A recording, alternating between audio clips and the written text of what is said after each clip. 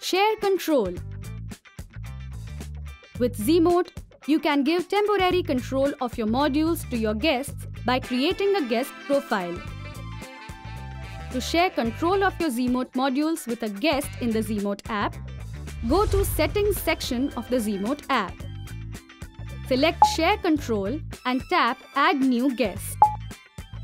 Enter name, email ID, mobile number of guest, date up to which you wish to share the control, and the modules you wish your guest to control.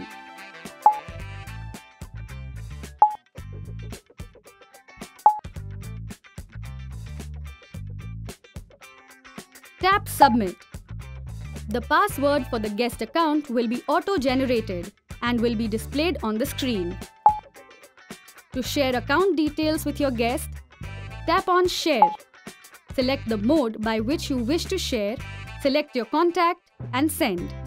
Your guest can log into the Zemote app using the account details and control the assigned modules using the app. To extend the guest account validity or change access to module, tap on Edit, Modify Details and Submit.